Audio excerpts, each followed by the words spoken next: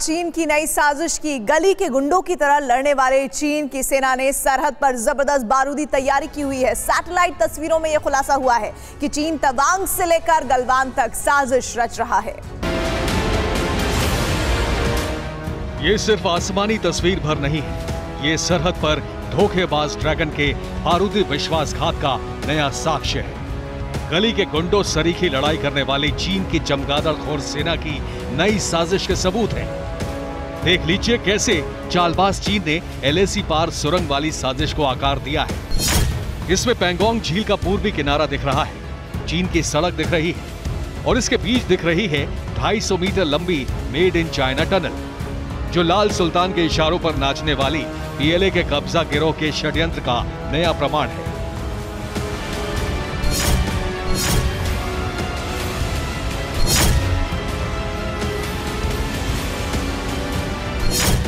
LAC पर military base और air base के बाद चीन ने ये सुरंग बनाई है। ये सुरंग चीन के मिलिट्री और टैक्टिकल तैयारियों का हिस्सा है। सैटेलाइट से मिलिट्री सामान छुपाने के लिए चीन ने सुरंग बनाई है, क्योंकि पैंगोंग झील के पूर्वी किनारे पर चीन का सैन्य सामान है।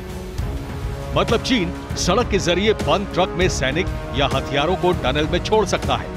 अपनी बारूदी साजिश को आसानी से छिपा सकता है। एलएसी के पश्चिमी सेक्टर में चीन ने सुरंग बनाई है। जबकि 9 दिसंबर को झड़प हुई थी पूर्वी सेक्टर में, यानी अरुणाचल प्रदेश में।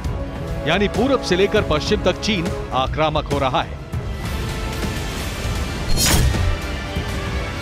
चीन की आक्रामकता की ये नई तस्वीर है। तवांग पर तनाव के बीच पीएलए ने वॉर एक्सरसाइज शुरू की है। शिनचियांग के पास पीएलए ने मल्टीपल वॉर एक्सरसाइज शुरू की है। पंद्रह हज़ार फीट की ऊंचाई पर माइनस पंद्रह डिग्री में नाइट विजन हथियारों के साथ चीन की चीटी सेना अपनी ताकत आजमा रही है। गलवान और तवांग के बाद ड्रैगन का अगला प्लान क्या है? क्या माओ के वारिस उन्नीस दोहराने की तैयारी में है? क्या शी जिनपिंग की सेना फिर से एलएसी पर अटैक करेगी? हालाँकि जवाब में हिंदुस्तान भी तैयार है। हिंद के शूरवीरों ने भी ईस्टर्न मोर्चे पर युद्धाभ्यास शुरू कर दिया है।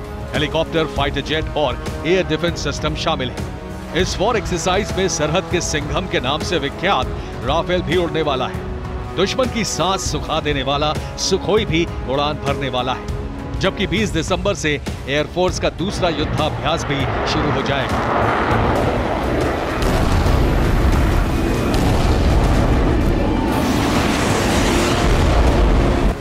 सरहद पर पहले से ही भारत के दुश्मन मारक हथियार तैनात हैं। शत्रु संघारक मिसाइलें भी अटैकिंग मोड में खड़ी है। अगर चीन ने बासठ वाली गलती दोहराने की ज़रूरत की तो फिर वो होगा जो जिनपिंग को कल्पनाओं में भी कपा देगा।